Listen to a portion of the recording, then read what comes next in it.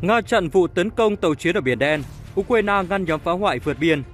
Bộ Quốc phòng Nga tuyên bố đã ngăn chặn thành công các xuồng không người lái của Kiev tập kích hai tàu chiến của Moscow ở Tây Nam Biển Đen. Các lực lượng vũ trang Ukraine đã thất bại trong nỗ lực dùng ba xuồng không người lái tấn công các tàu tuần tra Sergei Kotov và Vasily Bikov thuộc hạm đội Biển Đen Nga, trích thông báo ngày 1 tháng 8 của Bộ Quốc phòng Nga. Nhà chức trách Nga cho biết thêm, sự cố xảy ra tại phía tây nam của Biển Đen, cách thành phố Sevastopol của nước này khoảng 340 km. Hải quân Nga đã phá hủy toàn bộ xuồng không người lái của đối phương và hai chiến hạm Sergei Kotov, Vasily Bikov đang tiếp tục làm nhiệm vụ ngoài khơi. Theo đài RT, tàu Sergei Kotov từng bị tập kích ở cùng khu vực vào tuần trước. Chiến hạm này đã phá hủy cả hai xuồng không người lái tham gia vụ tấn công ở khoảng cách 1.000m và 800m. Ukraine nói đẩy lui nhóm phá hoại vượt biên giới phía Bắc.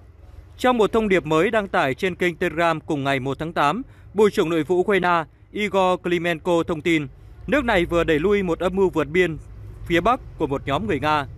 Tối qua 31 tháng 7, ở vùng Chernihiv, các lính biên phòng đã ngăn chặn một nhóm trinh sát phá hoại của đối phương âm mưu vượt qua biên giới Ukraine vào trong cộng đồng Semenivka, ông Klimenko nói. Báo Guardian dẫn lời Sergei Nayev, chỉ huy lực lượng vũ trang hỗn hợp của Ukraine xác nhận, bốn người có vũ trang di chuyển từ lãnh thổ Nga đã tìm cách vượt biên trái phép vào nước này, nhưng bị hỏa lực của quân địa phương ngăn chặn. Kiev hiện đã triển khai lính dự bị thuộc lực lượng vũ trang và Bộ Tư lệnh Biên phòng Quốc gia tới để tăng cường an ninh cho khu vực này.